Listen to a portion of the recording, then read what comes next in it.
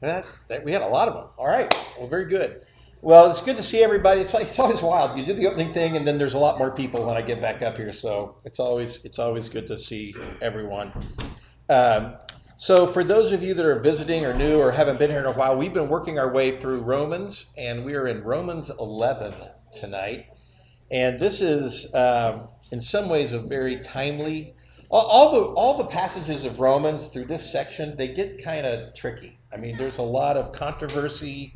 There's a lot of. Uh, these are the passages people tend to argue over, and they're the passages that if I didn't believe in expository preaching, which means sort of preaching every verse as it comes along, I would most likely skip these because it's like they're sort of just like, okay, we have to talk about all kinds of weird stuff here. So this is sort of the weird stuff section of the Bible.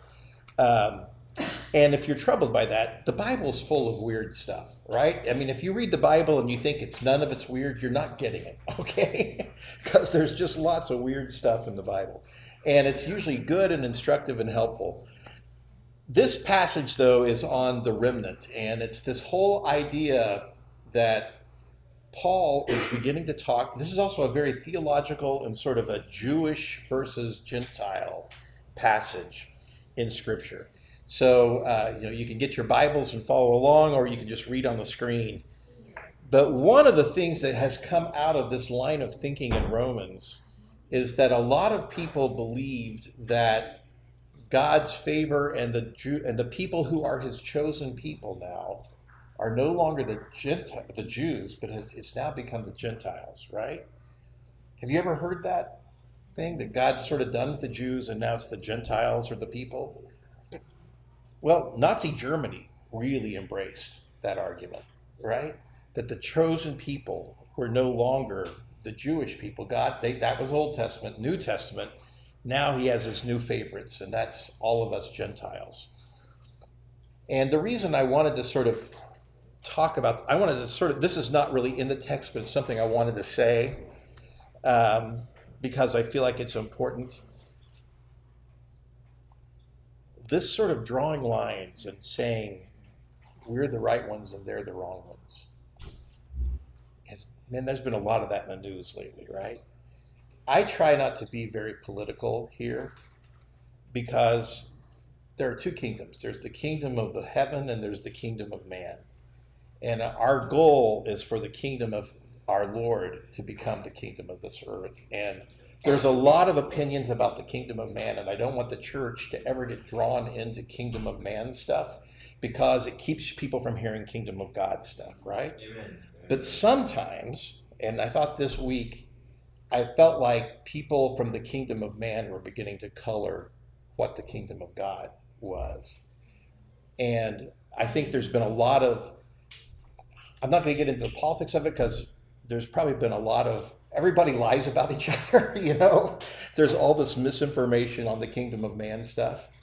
But when they started to say, there were a lot of verses out there, a lot of people out there beginning to say that the church is really about white supremacy and that's where you've got to say no, right?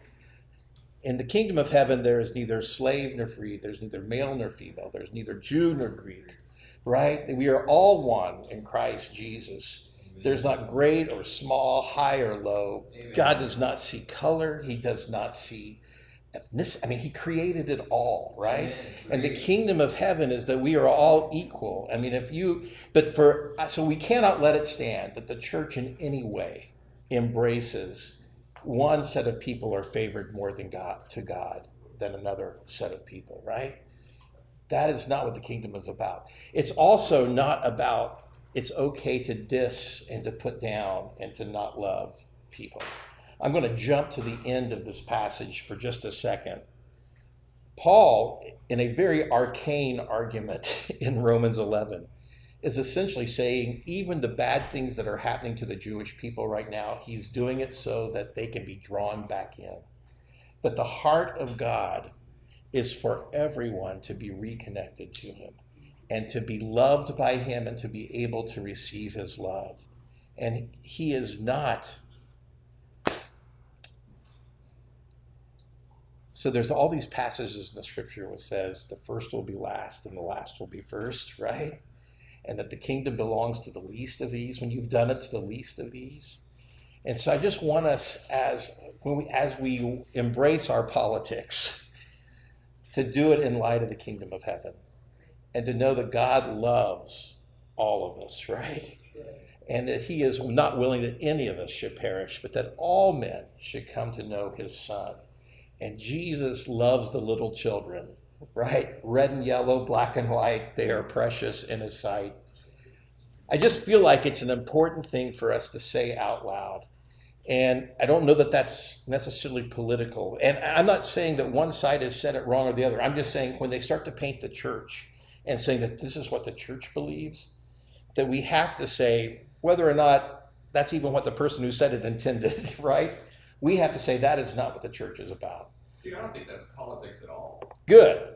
I mean, Yeah. that's not a political statement. That's a statement of, of what we as Christians claim to be our principles. Amen. You know, and to have people, I mean, it, it really bothers me when Mhm. politicians claim, you know, wherever, claim Yeah. to be, and make it a really big point to talk about how big their faith is to them. And then they act in ways that are directly contrary to that. And, you know, That's that's exactly yeah, and that's kind of what I wanted to say. There's been people, there are segments of the church that are feeding into that, and I feel like that we have to say as a church, that's not that's not the kingdom that I belong to. That's not the kingdom that Jesus came to save, to to die for. no, we don't live or die by who's in charge of this country. Amen. or Amen. who's in charge of this state or this whatever. You know, we live or die by the grace of Jesus Christ, and that's Amen. that trumps any pol. You know, no pun intended. That trumps any politics. Yeah, yeah. Now you turned the corner That on me. really was no Okay, pun okay, all right, intended. all I think right. it kind of worked out. Okay. You're just setting up Romans 13. Yeah. Yeah. I don't, think it was God's will for the hurricane or anything, but it, it does, it was interestingly timed in Mhm. that, all that focus of division and everything, and then it's a reminder of who's really in charge. Mhm. When the hurricane came through and you got to see people really stepping up and, and acting in the way that they should act and coming together versus all this division. Yeah, yeah, and that's right. And I don't. Yeah, that's the weird thing because in the Bible, there's a lot of times it does say, "And God sent the hurricane," you know, and it's like, but I am not one of those guys that knows enough to ever say that. But it is true, huh? Well, my thing is only him, you know. exactly right, you know? So let him sort it out. So what our we are called to do is to be faithful, right? And that's that's sort of the, the gist of this. Uh, so we're gonna we're, let's jump into the scripture. So this is verse eleven, and th- so what for those of you that haven't been here for a bit, anybody remember what verse ten, what chapter ten was talking about? What was the big theme of chapter ten? Preaching the good news, right? Salvation to all. Right. And how are they going to hear unless somebody is sent to tell them, right? So that's an important segue to keep that that was just a few verses before this that Paul is saying, blessed are the feet of those who bring good news, right? Because how unless you're called, you're not going to know you're called unless somebody tells you, and how are you going to tell you unless somebody preaches to you, and how's somebody going to preach to you unless they're sent, right? So the reason I'm saying that is that now he's going to start talking about this weird world word, which is election, right? And so election is one of those words that sort of sound well, and this passage has got some weird things which sort of says God chooses who gets in and who gets out. And you can spin that a lot of different ways, right? Well, Uh, that the same as like predestined and stuff? That's Why don't you explain it to us? Just a few words. in a few words. Well, I'm going to try to in this passage, actually. So let, let me get to it. So let's read the scripture. All right. Um, I asked then, did God reject his people? And who are the his people he's talking about? Israel. Israel, right? Right. Okay, very good. By no means. I am an Israelite myself, a descendant of Abraham from the tribe of Benjamin. God did not reject his people Uh, I got too small a print here. Okay, God did not reject his people, whom he foreknew. That's a scary word for some people. Okay, don't you know that the scripture says in this in the passage about Elijah how he appealed to God against Israel? Lord, they have killed your prophets and have torn down the altars, and I am the only one left, and they are trying to kill me. And what was God's answer to him? I have 7,000 who have not bowed their knee to Baal. So too, at the present time, there is a remnant chosen by grace. And if by grace, then it cannot be based on works. If it were, grace would no longer be grace. That's a huge verse. okay, so uh, so what he's talking about here is a, a very interesting thing. What did do you, anybody remember what Paul said about his people two chapters ago in verse nine?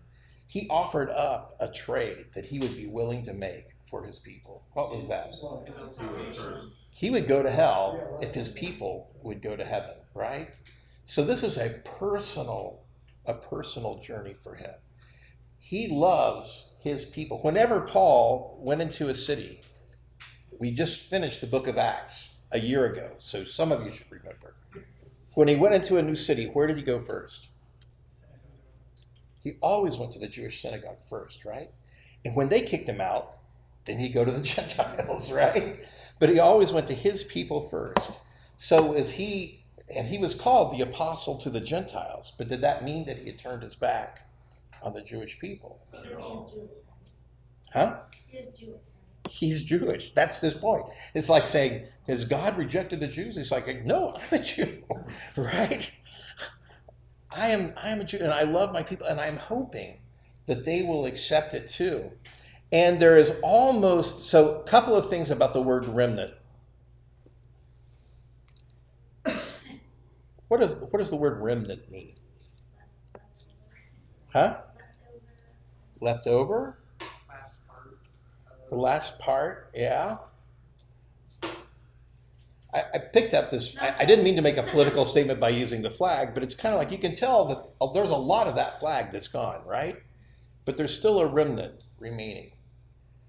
I feel like in America, we as Christians are becoming more and more a remnant. You know what I mean? That at one point we were sort of a dominant force in the culture. But now it seems like we're a more marginalized force in the culture.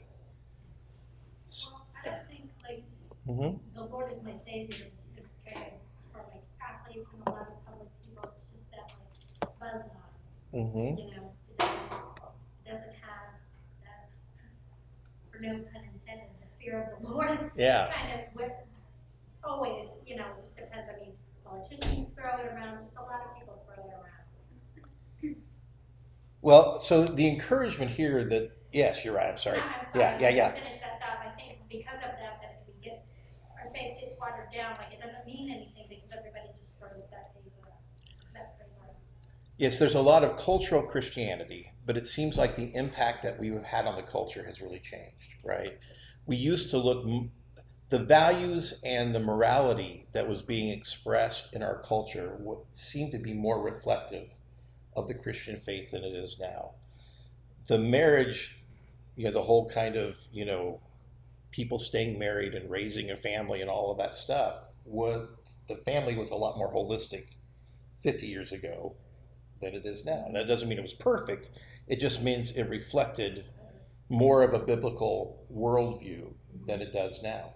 You know, I mean, marriage, most, pe- the majority of people I think under 30 now are just living together. They're not really getting married. So the old concept of marriage is changing so that there is a remnant of folks who still believe this way, but there are a lot of people who believe differently, right? So we're moving into where we are a bit of a remnant. And what Paul was sort of saying, so Paul